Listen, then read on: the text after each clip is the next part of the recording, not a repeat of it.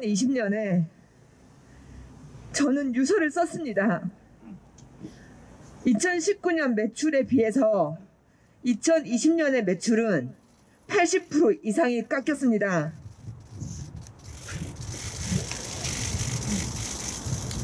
매달 3천만 원이라는 빚을 내가면서 1년을 버텼습니다. 정부에서 말하는 K 방역으로 다음 달이면 괜찮겠지, 다음 달이면 괜찮겠지 하고 버틴 이 세월이 저한테 2020년에 1억 5천이라는 빚을 만들었습니다. 폐업 못합니다. 하고 싶어도 못합니다.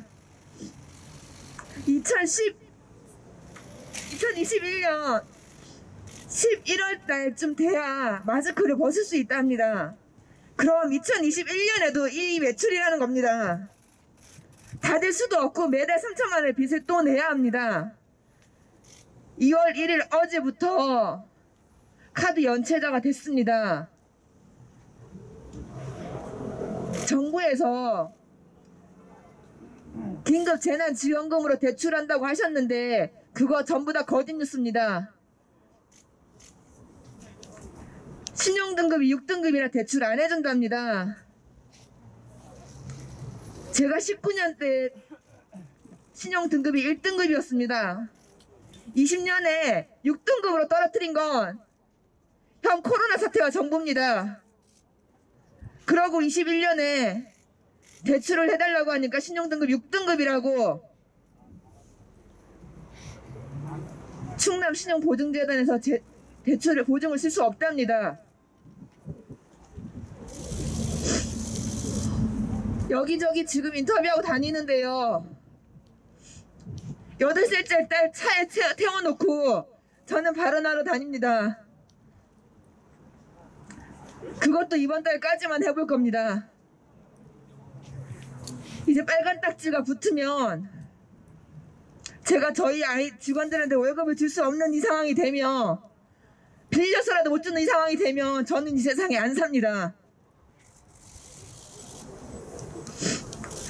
문재인 대통령이 이 말을 못 들으면 지금 저 같은 소상공인이 우리나라에 연체자가 신용불량자가 파탄자가 너무 많은 이 세상에 문재인 대통령이 이 말을 듣지 않으며 저를 죽인 건 문재인 대통령입니다. 잠 좀 자고 밥 좀 먹고 싶습니다. 수급 적용 해달라 그래서 제가 제 주머니에 돈 넣고 호의호식 하겠다는 게 아니고 2021년 11월까지 버텨야 된다고 말을 하는 겁니다. 매달 마이너스를 이제 더 이상 빚을 못 내니까 다음 달을 버티려면 대출을 긴급 대출을 해야 11월 달까지 버틸 수 있다고 말을 하는데 왜 못 알아들으십니까? 제가 그만두고 폐업자가 늘어나고 실업자가 늘어나면 그래서 실업급여를 줘야 되고 정부에서 이 사람들은 뉴딜이다 일자리 경 정책이다 해가지고 먹여 살려야 되면은 지금의 소급 적용해서 나가는 마이너스보다 다 폐업자 되고 다 실업자 되면 그때는 진짜 못 막습니다. 대한민국이 아니라 이젠 곧 베네수엘라입니다.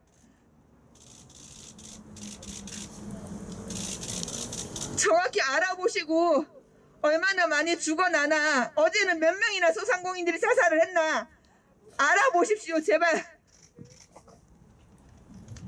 소상공인들이 피해 보상을 해달라고 하는 걸 정부에 돈을 요구하는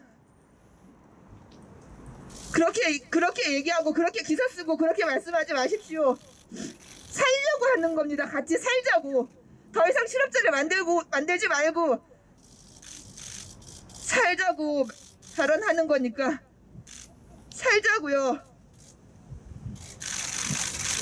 죄송합니다. 어, 안녕하세요. 소상공인연합회 회장 직무대행 김인용입니다. 아, 오늘 이렇게 많이 와주셔서 우선 감사를 드리고요. 아, 우리 소상공인들의 애로사항을 오늘 구구절절하게 기자 회견 모임과 또 그분들의 어떤 사연을 듣는 시간을 갖게 돼서 어, 여러분들에게 어떤 이해를 할 수 있는 그런 좋은 시간이 됐으면 합니다. 사회적 거리두기 2.5 단계가 연장됐습니다. 밤 9시까지 일괄적인 영업 제한과 5인 이상 사적 모임이 금지되는 이번 조치에 소상공인 자영업자들이 가졌던 혹시나 하는 기대감은 또다시 절망으로 바뀌었으면, 바뀌었으면 이제는 더 이상 물러설 곳 없는 현실에 소상공인들은 분노하고 있다. 언제까지 기약 없는 영업 제한에 그동안 정부 방역 지침에 적극 협조하면서 스스로 방역을 해왔던 소상공인들은 이제는 소상공인들의 영업 손실에 대한 특단의 대책을 촉구하는 것이다. 이 같은 상황에서 정치권에서 영업 손실 보상 논의가 진전되고 있다. 정세균 총리는 지난 28일 열린 모교 대화에서 소상공인 영업 손실 보상 문제는 헌법과 정의의 문제라며 이 문제의 추진을 다시금 강조하였습니다. 소상공인연합회는 이번 모교 대화에 직접 참여하여 소상공인 피해 업종 전반에 대한 보상, 소급 적용 등을 강력히 건의하였습니다.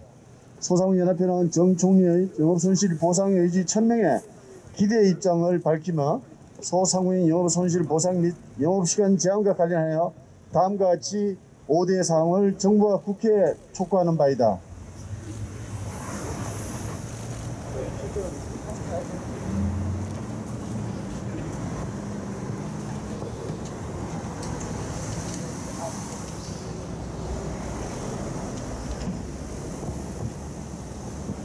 첫째, 코로나 피해 소상공 영업손실 보상은 영업종기와 제한업종뿐만 아니라 코로나 사태에 영업손실로 인한 피해 소상공인 업종에도 지원돼야 할 것이다.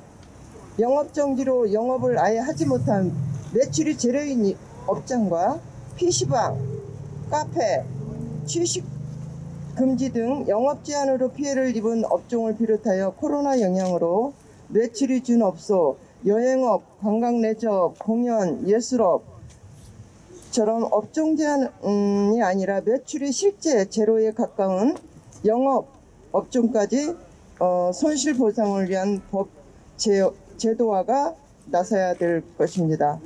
부실 대기업 지원에는 수십조 원의 공적 자금을 쏟아부으면서 IMF보다 더 비교도 못할 정도로 큰 재난 상황에 빠진 소상공인들에게 돈을 비용으로 보는 것은 어불성설이라 어, 생각합니다. 이는 비용이 아니라 생존 자금이며 이로 인한 낙수 효과는 고스란히 전업방 업종 소상공인의 서민 경제에 돌아갈 것이기 때문에 소상공인에 대한 영업손실 보장은 코로나 피해 손실을 복구하는 데 유용하게 쓰일 것입니다.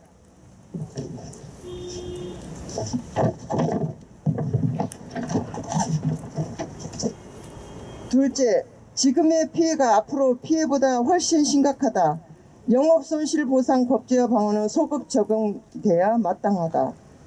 당장의 논의 흐름을 보면 이번 법제화 방안에서 지금까지의 피해 즉 소급 적용은 제외한다는 언급이 잇따르고 있습니다. 소상공연합회는 지난번 논평에서 밝힌 바처럼 이것은 소상공인들의 기대감에 찬물을 끼얹는 것으로 보고 앞으로의 손실이 지금까지보다 적을 것이 예상되므로 지금까지의 천문학적인 피해에 대해 영업손실 법제화가 이루어져야 함을 재차 강조하는 바입니다.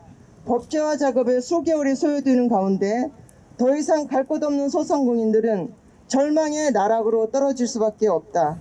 소상공인들은 구제하기 위해 지금까지의 피해에 대한 소급적 적용에 나서야 할 것입니다. 이것은 소상공 연합회뿐이 소상공 연합회뿐이 아니라 국회에서 많은 의원들이 공감하는 바이기도 하다. 이러한 점들을 감안하면 이번 법제화 과정에서 지난 1년간의 대 피해에 대해 소급 적용에 나서야 할 것이다.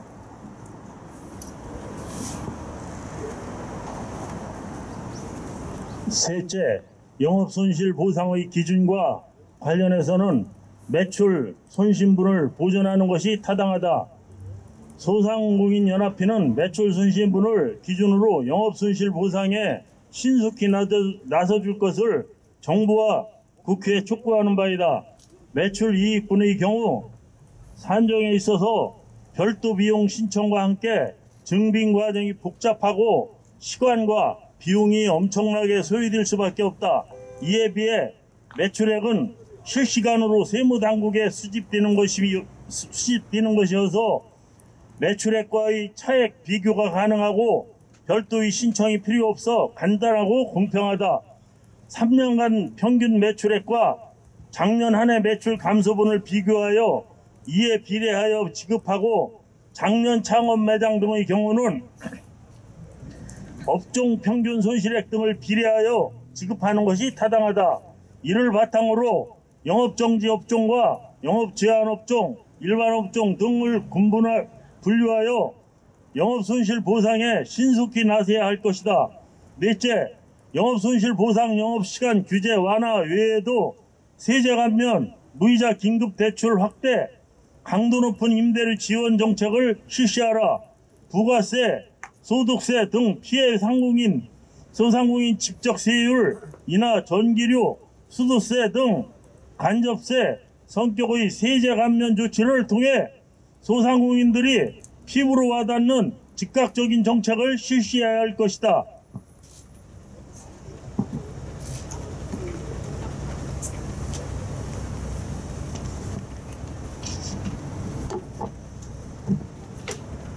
이와 같은 조치는 대통령과 정부의 의지에 달려 있다. 세제 감면 조치를 통해 소상공인들의 조세 부담을 경감시켜줘야 할 것이다. 또한 인천시가 소상공인들을 대상으로 무이자 대출을 실시하여 대출 하루 만에 신청액이 500억 원을 넘어 1000억 원으로 상향한 것처럼 무이자 긴급 대출에 대한 소상공인들의 수요가 높다. 정부는 무이자 긴급 대출 확대를 위해 직접 나서고 필요한 경우 지자체에 대한 지원을 확대하여 소상공인 무이자 대출 정책 등을 확대 실시해야 할 것이다. 임대료 지원 문제도 임대인 세액 공제 정책에서 한 발 더 나아가 임차인에게 임대료를 직접 지원하는 방안 등을 좀 더 과감하게 도입해야 할 것이다. 다섯째, 손실보상 영업 손실 보상은 신속생이 생명이다. 법제화가 늦어질 경우 정부는 대통령 긴급 재정 명령을 발동하여 실질적인 영업 손실 보상에 나서야 할 것이다. 영업 손실 보상의 법제화 과정에는 많은 논의와 오랜 시간이 들 수 있다. 지금 소상공인들이 죽어나가는 현실을 감안하여 선보상 후 법제화까지 염두에 두고 대통령이 긴급재정명령을 발동하여 소상공인들의 영업손실 보상에 나서야 할 것이다. 예, 대한숙박 중앙이장입니다.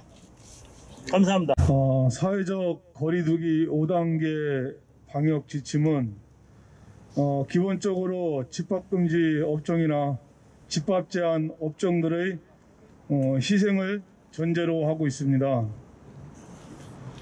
민간 시설에 대한 희생을 강제한다면 이에 대한 적절한 보상이 있어야 하는 것은 당연하다고 생각합니다. 아, 방역이라는 공공의 필요에 의해 민간 시설의 집합금지나 집합 제한이라는 조치가 내려졌다면 이에 상응하는 보상이 헌법 정신에 부합합니다. 최근 정부는 국회의 코로나19 방역 조치에 따른 자영업자의 손실을 보상하는 손실보상제에 대해 활발히 논의하고 있습니다. 그러나 정부는 소급 적용이 하지 않겠다는 방침을 밝히고 있습니다. 소급 적용을 하지 않겠다는 것은 자영업자를 두 번 죽이는 것과 같습니다. 코로나19로 집합금지 작년 5월부터 시작하여 올해까지 이어졌습니다. 지금까지의 손실 보상하지 않겠다는 것, 것은 지금까지 방역 협조를 인정하지 않겠다는 것과 같습니다. 헌법 정신에 충실한다면 코로나19로 인한 손실은 과거와 현재 미래에도 보상을 해줘야 됩니다.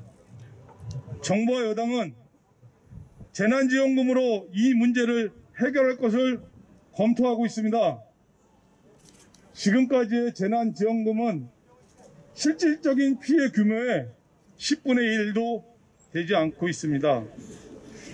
더군다나 사업장별로 지급하지도 않고 어, 손실 보장 수단으로 적절치 않습니다. 방역 조치에 협조 방역 조치에 협조한 장업자들에게 지원이 아니라 보상이라는 관점에서 접근해야 합니다. 따라서 재난지원금으로 이 문제를 해결할 수는 없습니다. 집합금지 행정명령에 의해 자영업자의 손실 보전은 국가의 헌법적 의무입니다. 5개월이 넘는 강제 집합금지로 인해 코인노래 연습장 업주들은 생존의 한계를 도착해 있습니다. 집합금지 기간 동안 영업을 하지 못한 채 숨만 쉬어도 지출되는 고정비는 고스란히, 고스란히 빚으로 쌓여가고 있습니다. 이제는 정부가 나서야 합니다. 행정조치에 따른 피해 규모에 대한 면밀한, 면밀한 조사와 이에 상응하는 손실 보상을 해야 합니다. 손실 보상은 소급, 소급 적용하지 않겠다는 절망적인 말은 멈춰야 됩니다. 더 이상 버티기 힘든 우리 업주들을 위해 보다 적극적인 자세로 나서주길 강국하게 호소드립니다. 이상입니다.